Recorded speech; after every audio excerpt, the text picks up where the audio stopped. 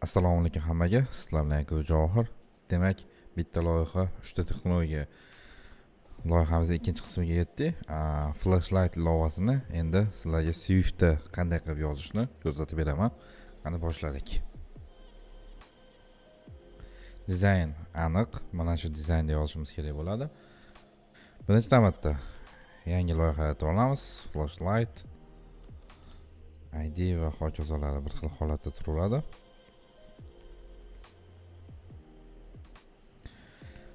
next. Saqlash ko'rsatyapti qayerda saqlashni bu yerda ham oshiqcha narsalar bor. Ularni sekin sekin o'chirib tashlasak bo'laveradi ya'ni bu bizni bu ilovamiz uchun oshcha bo'lgan narsalarni o'chirib yuboramiz delegat faylimizni ham to'g'irlab olamiz. Bu joylarni o'chiramiz. Info listimiz bor. Bu yerdan ham mindni va bu yerda scans bor buni ham o'chiramiz va delegatga sekin sekin o'zimizni kodlarni yozishni boshlaymiz birinchi navbatda ya'ni ilova ochilganda biz view controllerni chaqirib berishimiz kerak buning uchun bu yerga variable yaratamiz window ui window. Nol bo'lishi mumkin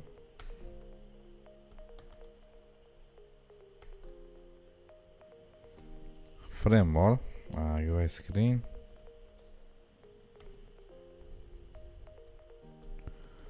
bonus bo'ladi. Va windowni root view controller bor. Ya'ni asosiy view controller sifatida view controllerni beramiz. Bu yerdagi ah, bizni view controllerimizni beramiz. Endi mac ga visible qilib turib uni ah, ekranga ko'rsatib berishimiz mumkin bo'ladi. Endi kontrolimiz bor. Kattalashtirib olamiz? Dizayn va holatda edi. Assetsga kerakli fayllar yuklab olamiz. Import qilamizda. Biz iosda aslida png bilan ishlaymiz. Png fayllarni loyihamizda bor. Oldingi darsimizda ham aytgan loyihamizda bor. Mana shu on va off png fayllarimizni import qilib olamiz. Mana import qilib oldik. Birinchi navbatda backgroundni beraylik kelib backgroundni beramiz background berish uchun backgroundimiz gradient edi bunda ham gradient yaratib olamiz gradient.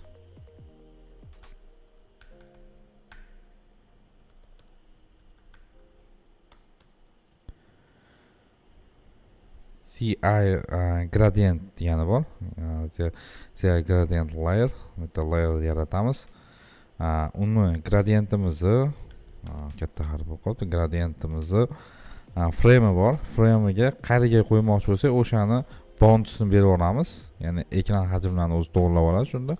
Va gradientimizni colorlari bo'ladi. Colors va gradientimiz colorlarimizni berib o'tamiz. Colorni ikki xil usuli bor. Ui color deb turib. Mana color deymiz. Ui color init nemet usuli bor alfalarni berib ketish usuli borda. Bizda i hexni to'g'irlab olishimiz ham mumkin ya'ni hex colorlarni olib olishimiz mumkin. Hozir uni qanaqa olishni ko'rsataman sizlarga? Demak colorni berishimiz kerak. Bizda rangimiz hex color ya'ni o'n oltilik sanoq sistemasi color hisoblanadi buni nima qiladi? Bunday holatda misol uchun bizda ko'rgan bo'lsanglar hozir yigirma to'rt yigirma to'rt o'n oltilik rang. Bunday holatda alohida bitta funksiyamiz bor. Hozir funksiyani ko'rsataman. Mana shunday funksiya yozib olishlaringiz mumkin. Bu o'sha hexni ui color formatiga o'tkazib beradi. Endi mana shu funksiyani ishlatamiz.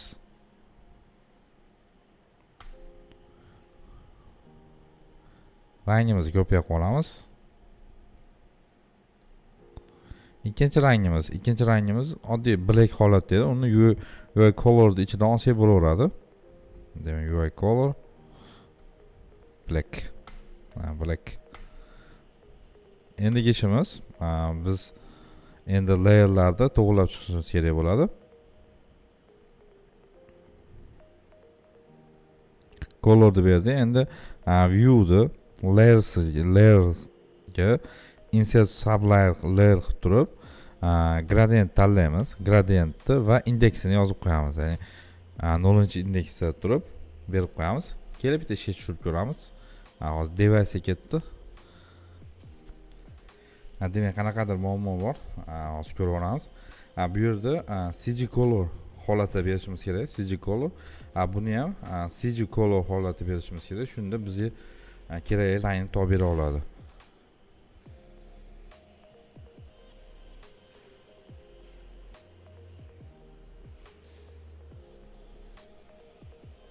Ilovamiz ichiga tushdi. Mana biz xohlagan background kelib chiqdi. Endi sekin sekin tekstli labellarimizni qo'yib chiqamiz.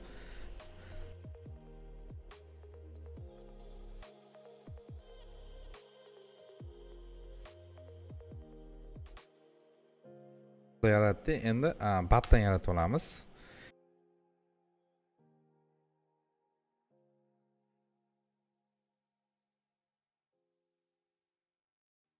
Imajini berib olamiz imajni bu yerda olgandik ko'rgan bo'lsanglar mana buniki off buniki on. Birinchi holatda demak off qo'yishimiz kerak. Offni qo'yish uchun image name it deymiz. Siz name it name orqali topib beradi. Shunda biz off deb nomlab qo'yishimiz mumkin. State'ini normal qilamiz. Mana battinimizni yaratib oldik endi uni viewga biriktirishimiz kerak. Uning uchun biz view add sub view. Birinchi labelni biriktiramiz title labelda yana view. Keyin ah, switch buttonimizni eh? biriktiramiz ah, endi buttonlarni biriktirganimizdan keyin uni joylashtirib chiqishimiz kerak bo'ladi. Uning uchun biz ns layout constraint active.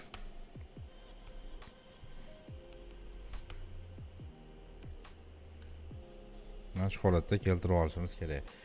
Endi titleni title labelimizni center x anchor desa qaysidir nimagadir constraint qilib tenglab qo'ygan qo'ysak biz o'shani o'rtasiga ya'ni joylashtirishimiz mumkin bo'ladi. Hozir gorizontal o'q bo'yicha o'rtaga joylashtirmoqchiman. Uning uchun men view center x anchor deyman. O'rtaga joylashtiramiz va endi topdan ham ozgina bog'lanishlar berib qo'yishim kerak. Top constraint view top enter va const konstant degan narsa bor. O'sha topdan tepadan qancha pastga qochsin shuni beramiz. Unga ellik qiymat beraman. Bu qo'yishimiz kerak edi. Mana shu bilan biz hozir title labelimizni joylashtirib oldik.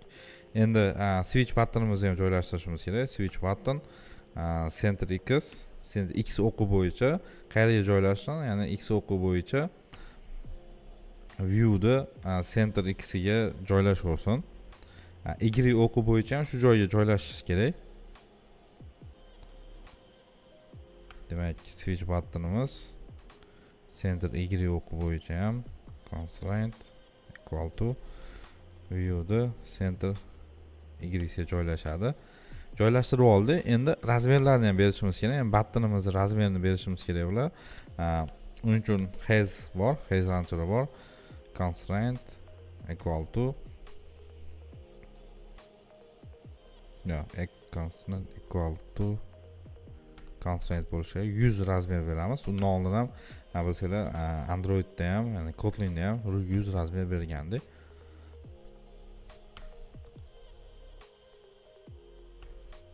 Unga ham yuz razmer beramiz. Va endi bir ishga tushirib qanaqa holatda ketayotganini ko'rib olamiz. Quyidagi holatda biz xohlagan dizayn chiqdi. Endi sekin qolgan ishlarni ham bajaramiz. Endi mana shu batton bosilganda ranglarni o'zgartirishimiz kerak edi birinchi etapda. Uning uchun biz alohida funksiya yozishimiz kerak objektiv annotatsiyasi bilan.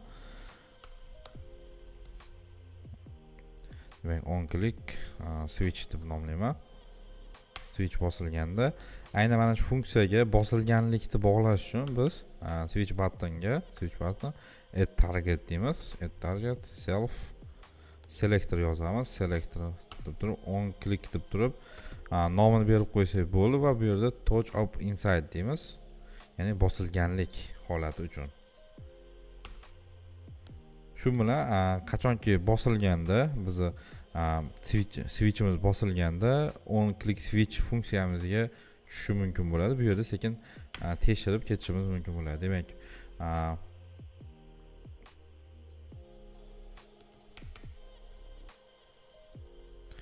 bitta o'zgaruvchi e'lon qilamiz. Flash switch degan. Ya'ni o'sha true false saqlashimiz uchun bosilgan bosilmaganlik holatini saqlash uchun. Demak agarda switchimiz yoniq bo'lsa ranglarni o'zgartirishimiz kerak. Title labelimizni text colorini green holatga keltirishimiz kerak. Colors.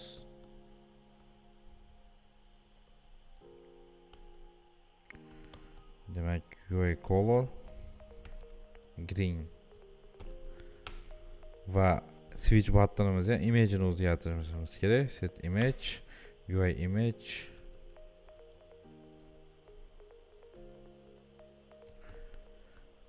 Nevat it bu yerga 10 ni berishimiz kerak holati normal.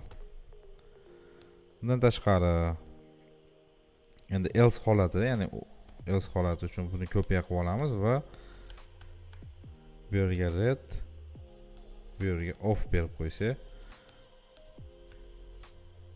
mana shu holatda ishimiz tugatishimiz mumkin bo'ladi. Endi o'zi aslida bu yerda off bo'lishi kerak va rangimiz red.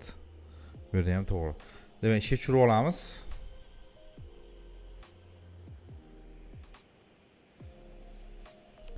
Bosamiz. Hozir o'zgarmadi.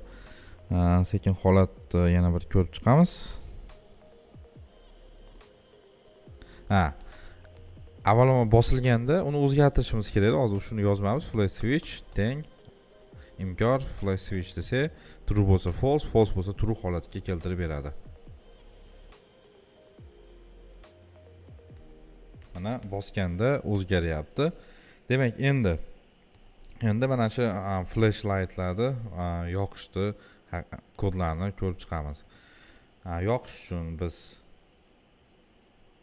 demak yoqish uchun biz quyidagicha amalni bajarishimiz kerak bo'ladi.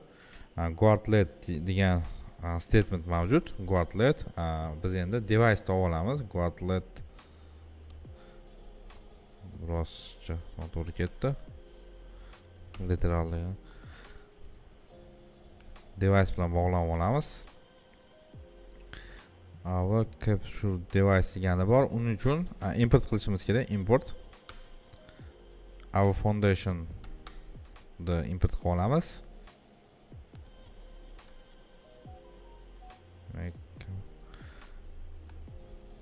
device.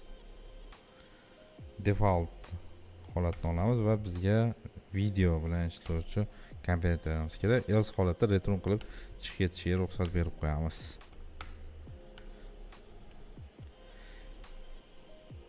Demak birinchi navbatda eng tepada o'zi aslida eng tepada olib olishimiz kerak edi. Devaysni olamiz eng tepada. Va devaysni olganimizdan keyin endi keyingi amallarni bajarib o'tamiz. Keyingi amallar birinchi navbatda track qilish kerak bo'ladi. Chunki bu yerda qanday xatolik sodir bo'lish ehtimoli balandligi uchun track qilishni ichiga olib qo'yishimiz kerak bo'ladi. Va bu yerda device'ni lok qilib olishimiz kerak. Ya'ni vaqtinchalik bekitib olishimiz kerak. Yana o'sha kamera funksiyasi vaqtincha bekitib turadi desa ham bo'ladi. Lock deyiladi. Try device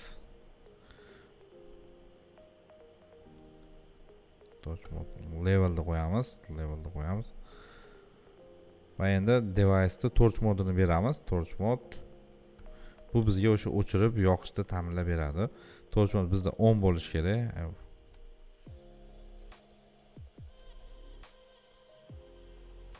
Torch mod. On.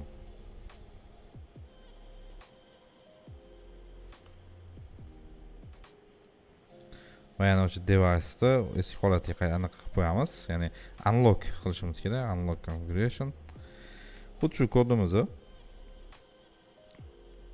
else holatiga ham ko'chirib qo'yamiz va. Buni ichkariga qo'ysak to'g'riroq bo'ladi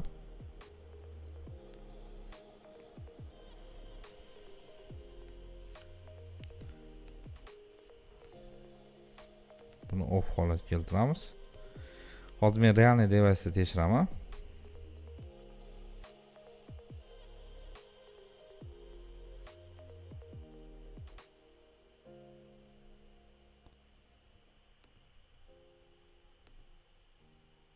ah, ha hozir bizda bitta figurali qavs yetmay qoldi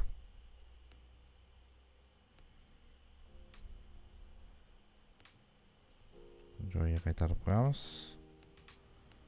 Kechamizni o'zini joyiga qaytar yana qayta ishga tushiramiz. Hozir devays ishga tushirganimda ya'ni iphoneni o'zini devays ishga tushirganimda switchi yonib o'chdi. O'zinglar demak bemalol bu narsani ishlatsanglar sizlarni o'zlaringni devayslaringiz ham xuddi shunaqa yonib o'tishi mumkin bo'ladi. Swiftda yozilishi flashlightda ya'ni switchga ilovamizni swift yozish xuddi shu holatda. Endi xudo xohlasa keyingi holat keyingi darsimizda flutterda yozishni ham ko'rsatib o'taman. Hammalaringizga rahmat.